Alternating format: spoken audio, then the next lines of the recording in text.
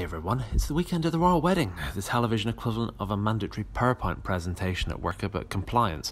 But crack open some sparkling wine and raise a glass to the thought of a half hour news programme featuring no mention of Brexit, no mention of Russia, or meaningful content. You know, for those small shops up and down the land selling small flags and London bus keychains, it's truly a day of celebration, or at least profit. Or if you've got zero interest in the whole royal thing, then why not go for a day out at Legoland in Windsor, which I suspect is pretty low attendance this weekend and very short queues for the rides. Um, the press coverage, though, it really built up all week, the wedding that is, culminating in the wedding itself. Although I personally think it's a missed opportunity not to send an undercover reporter along to the stag do or the hen night, you know, presumably pretending to be an Arab prince like they do to snare corrupt politicians. It would be nice to see, for instance, whether Princess Anne can outdrink Kate Middleton or whether Harry uses euros when he goes to the gentleman's club, you know, as compared to £20 notes, which are all, of course, small pictures of his grandmother.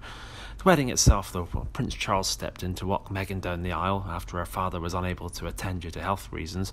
You know, he was recently exposed trying to make money out of the event by staging some paparazzi shots and has been subsequently had to apologise and will have to spend the rest of his life on medication, although he will mostly be on the lookout for a white Fiat Uno. I'm joking, of course, Prince Philip prefers the new hybrid electric Fiat 500 these days. There's some great finance deals out there if you're looking, and the Queen is, as we know, very thrifty. Um, so, what now? Presumably, lots of drinking and normal news service will eventually be restored sometime into next week when Theresa May once again refuses to rule out any kind of customs arrangement, whilst at the same time possibly ruling it in or ruling it out. Nobody really knows. Um, but with any luck, Harry and Meghan might just be persuaded to have a child sometime around March 2019 just to take the edge off the Brexit stuff. Anyway, see you next week. If you like these, click subscribe. Bye.